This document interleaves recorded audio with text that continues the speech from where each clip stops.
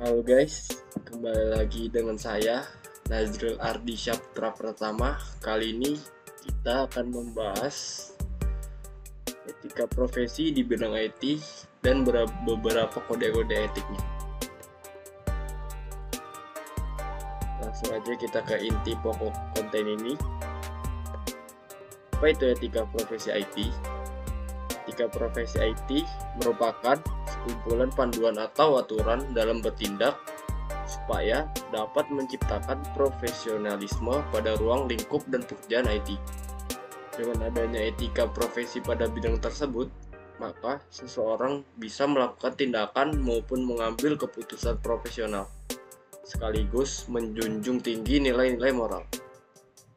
Selanjutnya, prinsip etika profesi IT.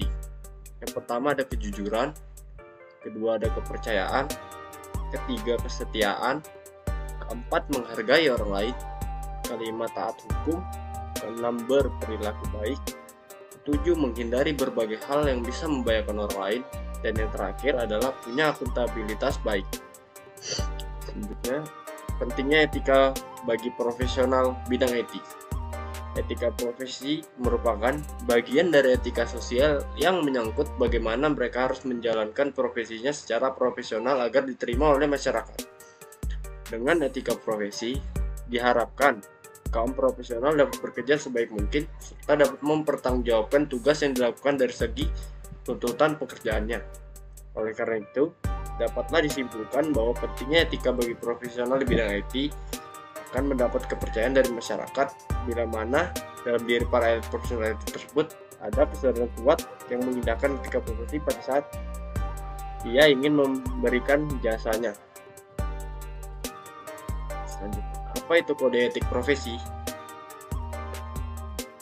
Kode etik profesi merupakan suatu tatanan etika yang telah disepakati oleh suatu kelompok masyarakat tertentu Kode etik umumnya termasuk dalam norma sosial, namun bila ada kode etik yang memiliki sanksi yang agak berat, maka masuk dalam kategori norma hukum. Kode etik juga dapat diartikan sebagai pola aturan, tata cara, tanda, pedoman etis dalam melakukan suatu kegiatan atau pekerjaan. Kode etik merupakan pola aturan atau tata cara sebagai pedoman berperilaku. Tujuan kode etik agar profesional memberikan jasa sebaik-baiknya kepada pemakai atau nasabahnya adanya kode etik akan melindungi perbuatan yang tidak profesional.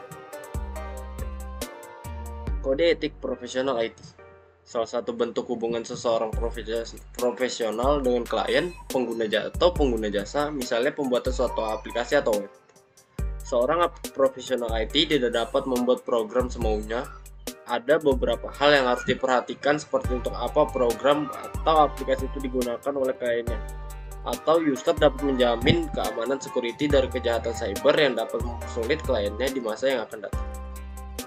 Nah, etika profesi web programmer sama dengan etika profesi profesional IT, etika profesi web programmer juga hampir sama Web programmer adalah profesi di bidang IT yang mengkhususkan diri dan terlibat dalam pengembangan aplikasi dan sistem informasi berbasis web dengan model client server.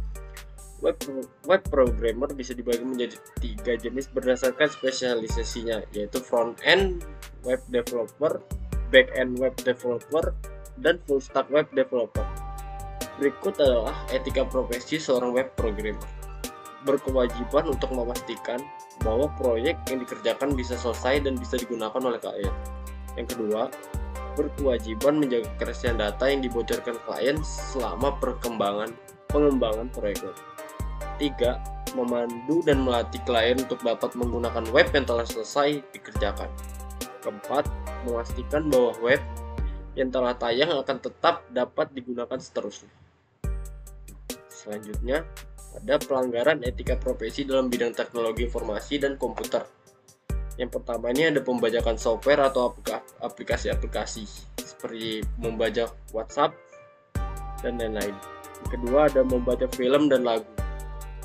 Ketiga, penipuan online yang marak terjadi sekarang. Keempat, penyebaran berita hoax.